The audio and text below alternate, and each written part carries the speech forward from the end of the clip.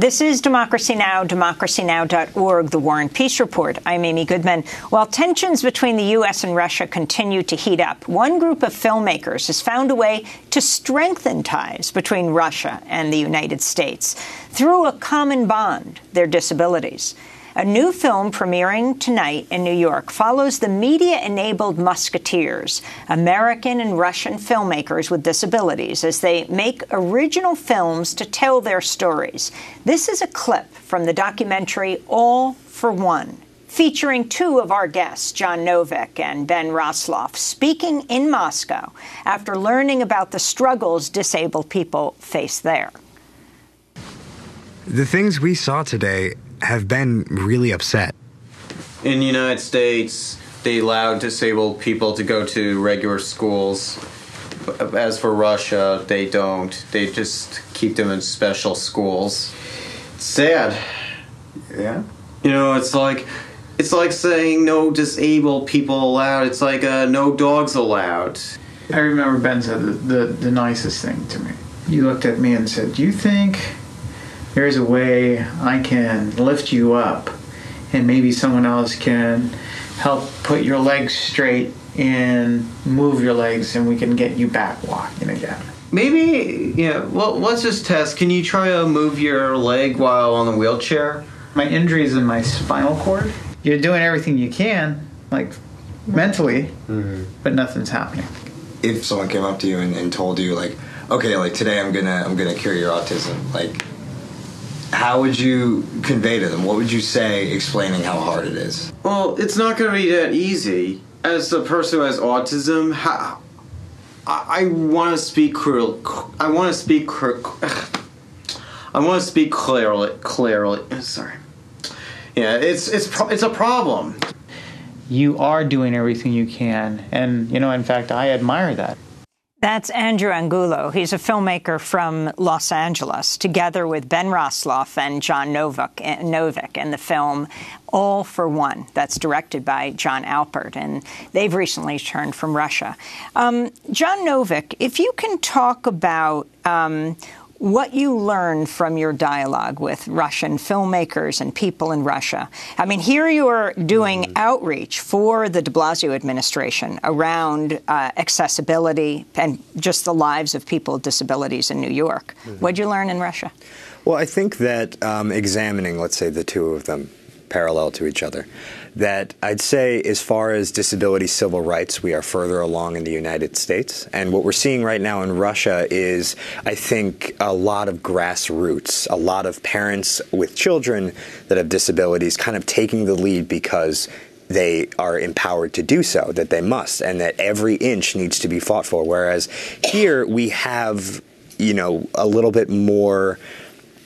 I guess resources, not only from the nonprofit sector, but branches of government. We have the Americans with Disabilities Act, the federal, you know, federal law passed in 1990 to protect the rights of people with disabilities. So I just think that there is a lot of local grassroots uh, and a lot of passion that I think is something that was really enlightening to take back to the United States. Now, talk about where you grew up and your Sure. parents made sure you were in regular public schools. Yeah, in, in public school. So I uh, I am a little person. You know, I have achondroplastic dwarfism, but my parents do not, and that's actually very common. Achondroplasia is a genetic uh, mutation that occurs, and for this reason, my parents had no experience with this. And when I was growing up, they wanted to make sure that I was as independent as possible, that I was, you know, attending public school, um, and I was in public school. I was in, you know, I, I wasn't in a, in a particular classroom. I was with other people that, uh, you know, didn't have any disabilities, at least seemingly.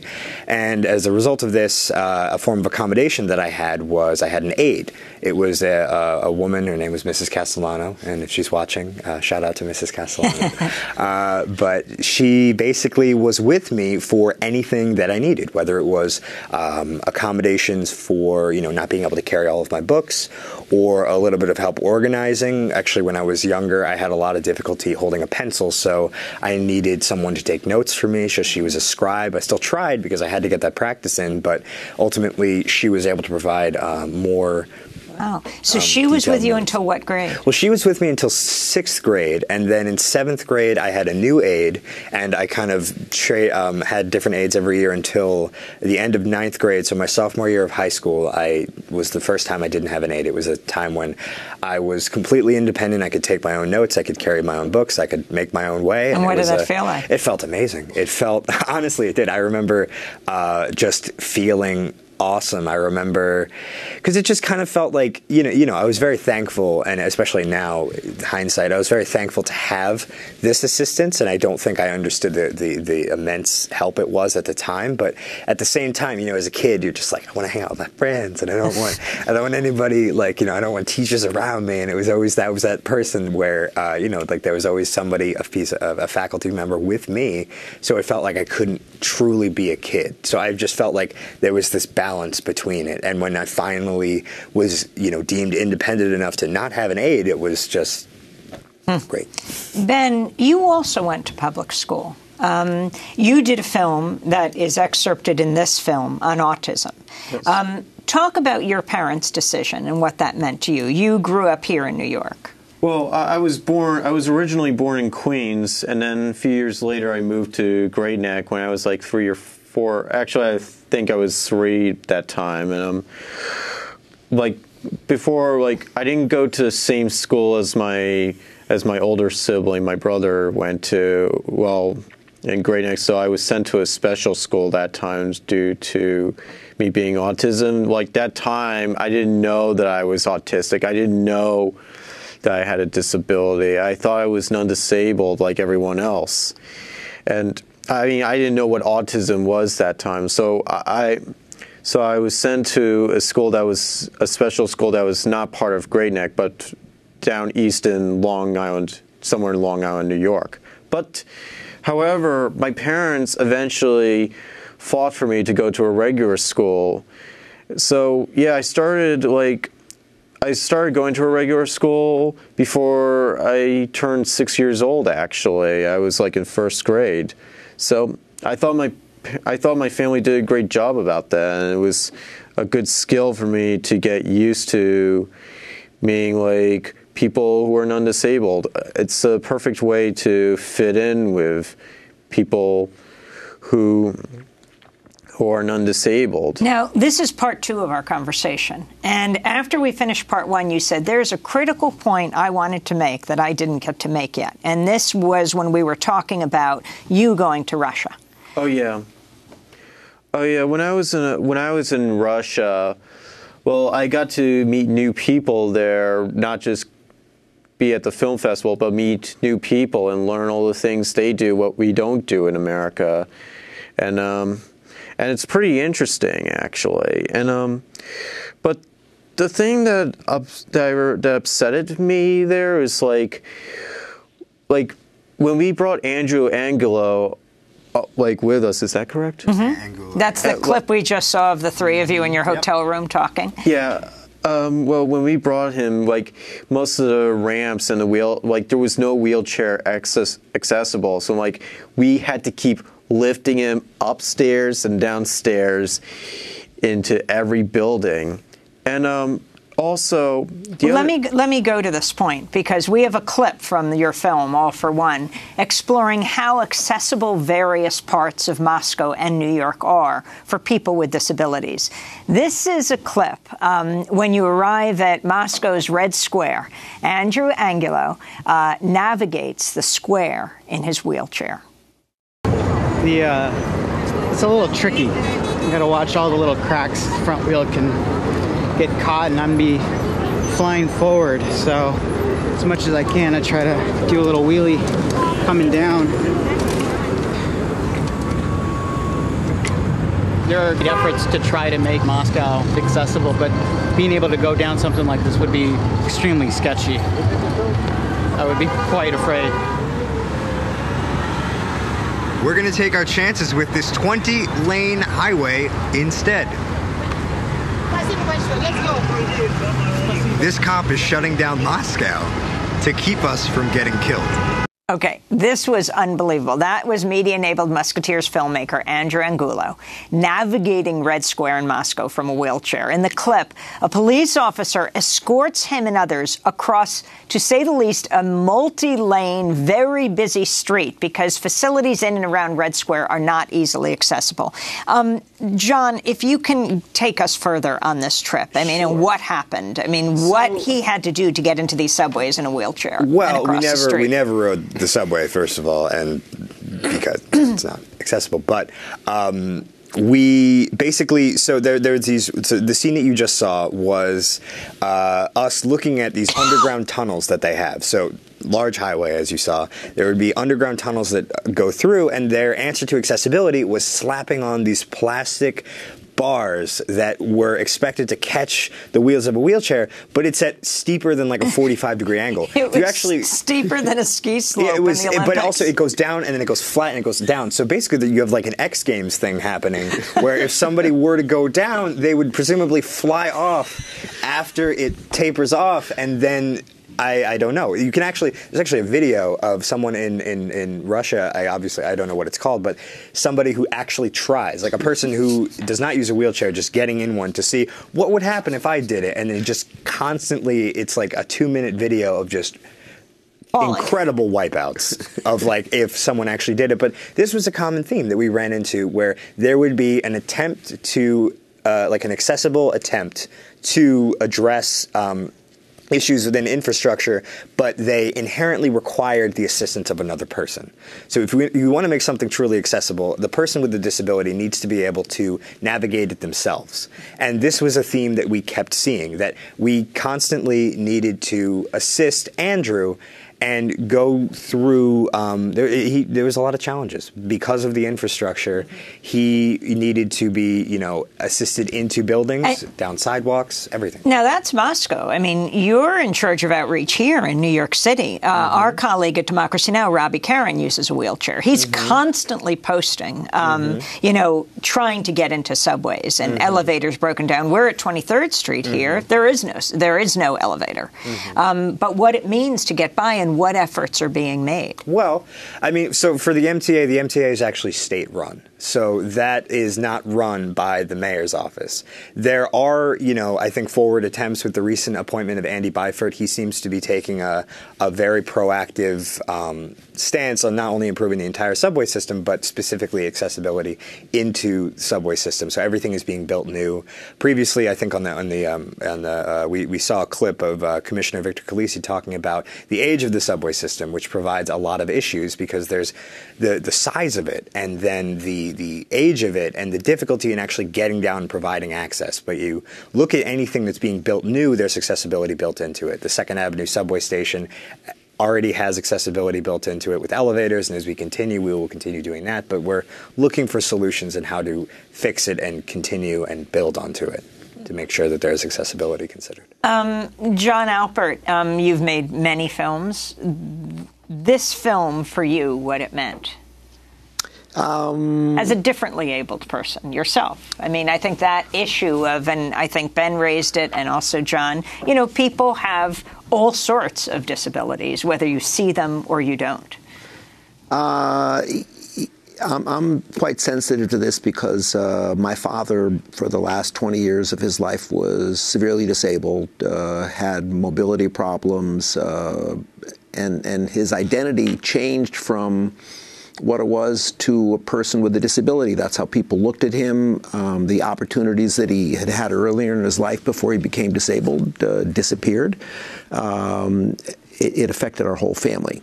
I think everybody's family has somebody who has a disability in it, and I think that all of us at some point in our lives, we're going to become disabled. My dad, who was in a wheelchair, said when I said to him, What is different for you being in a wheelchair? He said, No one looks at me anymore. He said, People actually avert their eyes. You think you're being polite, he said, when a person looks away from you. He said, Can you imagine going down the street? Usually you make eye contact, you nod to someone. Everyone's quickly looking in another direction. You no longer make, uh, you know, have person to person contact, he said. If I may, actually, Jon, you touched on a very interesting point. So, this idea that as, as quality of life increases and as technology increases, everybody is living longer. And we are, at one point or another, experiencing disability. You don't have to be born with a disability to experience it, whether it be temporary or as you get older, if you experience issues walking, issues hearing, issues seeing, and develop a disability over time. And I think it's important that we, you know, plan for this. So we, you know, thinking about disability, thinking about um, what disability means, and ultimately, I think you can actually attribute it more to the environment around you. I think with proper accommodations, as we talked about Andrew, talking about um, the difficulties that he faced in Moscow, he doesn't have a disability if his environment allows him to move freely throughout it. And I think that it's just kind of important to note that that there's this stigma around disability, avoiding eye contact and things like that. But I think with a properly accessible environment, that can be a total game changer. And Ben, as we wrap up, because I know you have to head off for work and you're very diligent about getting to work on time, um, why you got involved in the media as a form of expression for you? Well, um, when I was in middle school, there was a there was I there was like a TV studio, and I and um, so um, a teacher named Mr. Robert Gluck, um, he he helped me out like learn how to like do certain kinds of media, like um, like during my high school year, I was like doing camera work, but I didn't know about editing that time until I had help from one of his assistants, actually, from school, actually. But so yeah, I, I, used to learn, but then that time I was like doing Final Cut Pro. But then when I interned at Mayor's Office for People with Disabilities, Jonathan Novick here here was t- taught me how to like do Premiere Pro actually, and. Jon, you're a film editor. Yes. Yep, it's all thanks to him, actually. so when I worked at a public, so now that I start working at a um, at a public relations program, Slonsky and Partners, there was some, there was like, well, during the interview, like.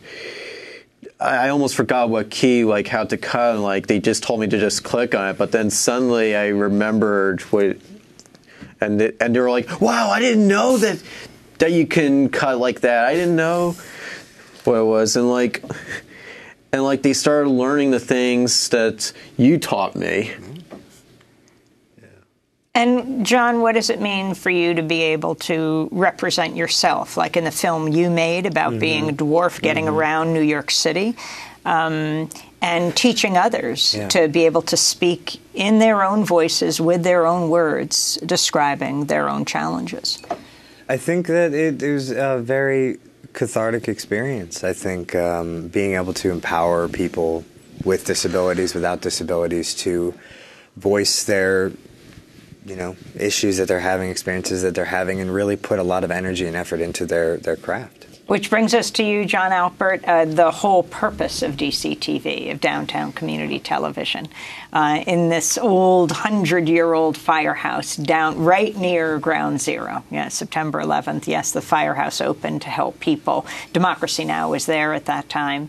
Um, this converted firehouse, what your dream is for at this place you've built for decades?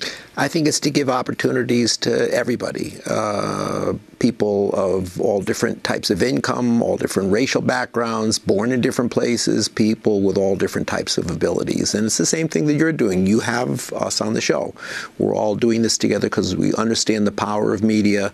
Uh, we understand that it can be a great equalizer and level the playing field. You're doing it every day, and we appreciate appreciate it. Well, we want to thank you all for being with us. Uh, Jon Alpert is the director of All for One, and uh, Jon Novick and Ben Rosloff. Uh, we follow you on your journey to Moscow as um, you join with filmmakers with disabilities in both places, large group of people, to examine the challenges uh, that you face from Moscow to New York Can City. Ben sing? Can you sing a song? Ben, can you sing? I didn't know you could. Ben's a great um, singer. You know, can I just? Ben was what, what play were you in? You were in The Tempest. Oh, oh, yeah, I was in William Shakespeare's final play called The Tempest. Actually, in when I was like in Epic Players. Actually, this was at the Egg Theater. This is a very prestigious off Broadway. And, and what was your part? Um, for Prince Ferdinand, and actually the name of the theater was actually called the Flea Theater. The Flea, sorry, the Flea. yeah, see, I, see, I can't. Ben remembers things I yeah, can't. Sorry. Yeah. Yeah, I know. I know. Um, sometimes we we make mistakes about certain names or where we are, but yeah, I was um, I was Prince Ferdinand, it the son of King Alonso in the country Naples, which is in Italy, which, which is in Italy actually, and yeah, I, I got so yeah, so now it was first it was camera work that I did, which is filming, second, editing, and now acting. It's all the three that I'm doing right now. Wow. So, do you want to uh, take us out with a song? Sure, I will do so. It, right, at, right now. Okay. Don't lose your way with each passing day. You've come so far, don't throw it away. Live believing, dreams are for weaving, wonders are waiting to start. Live your story, faith, hope, and glory. Hold to the truth in your heart. If we hold on together, I know our dreams will never die. Dreams see us through to forever, where clouds roll by for you and I. All right. Well, there you have Ben Rosloff, singer, actor, editor, filmmaker. Jon Novick. Um, I don't know about your singing abilities, Oh, but uh, go around the table. do you want to sing something? uh, but uh, is a filmmaker and also uh, does community outreach for the Office of Disabilities in New York City. Um, and Jon Alpert, founder with his wife Keiko Tsuno of DCTV, Downtown Community Television, and great Emmy Award winning filmmaker.